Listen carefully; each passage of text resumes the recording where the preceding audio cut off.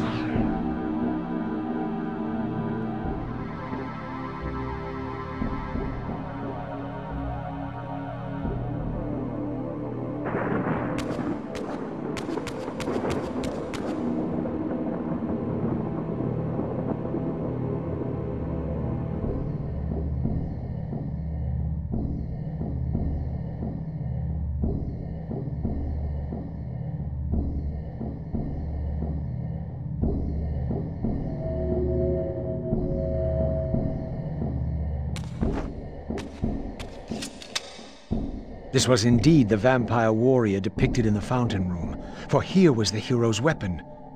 This could be the key to solving the riddle of the fountain.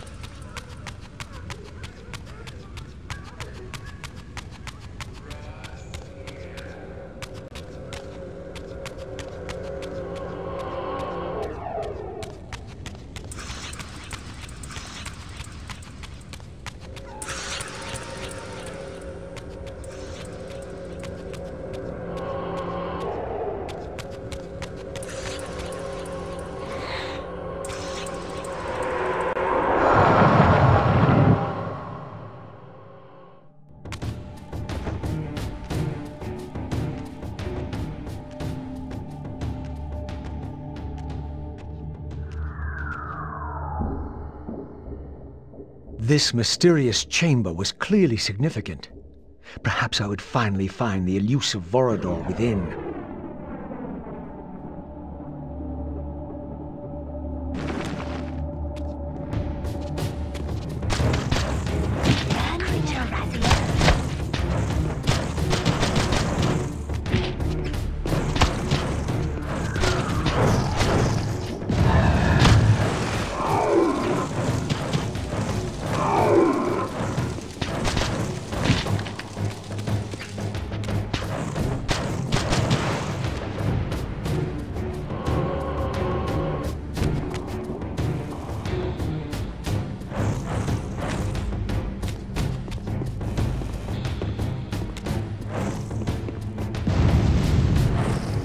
Braziers were all lit, but still the door remained sealed.